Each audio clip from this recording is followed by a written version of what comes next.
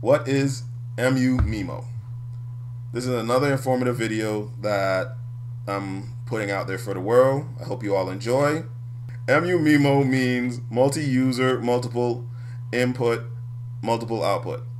It is a wireless technology that is used in modern Wi-Fi routers that allows multiple wireless devices to communicate at the same time. Before, older routers used SU MIMO. 21. Can you guess what the full meaning of that is? Is it another little fish that's lost, like Finding Nemo? Yes, it's his cousin. Really? Yeah, they don't find him though. Ooh, that's sad. Why would you say that? He grow, don't worry, he grows up fine. He finds a, a group of other fish. I feel like you're pulling my leg. What is SU Mimo? Single user, multiple input, multiple output. This allows Wi-Fi routers to communicate with multiple devices, but one at a time. It isn't very noticeable until you have many devices running at once, and even then, it isn't very noticeable to the human eye. It just seems to be running slower for gamers. That would be called lag. A horrible thing in Fortnite. Yes, it is. MU MIMO allows multiple devices to communicate at the same time by breaking up the bandwidth. This helps to reduce lag in streaming and downloading, for example.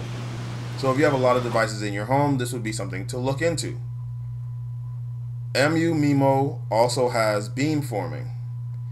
In short, it sends a signal to a specific device, unlike SU MIMO that just sends it all around you.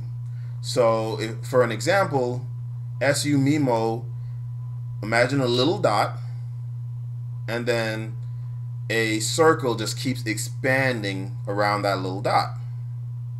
Now, MU MIMO, imagine a little dot, and then imagine another squ- a square, and from the dot, you see a line going to the square. So the square would be your phone or whatever item you have that is connected to your Wi-Fi router at the time. So without beamforming, your router would just send a signal all around the house. With beamforming, the signal will be sent to your iPhone, and that signal will be a lot stronger because it's not spreading out, reaching a bunch of dead space. It's literally just targeting your iPhone, your iPad, or whatever you have connected to it. So wireless routers with MU MIMO is something you would want to consider. And again, MU MIMO stands for multi-user, multiple input, multiple output. We hope you learned something today. All right, until the next video.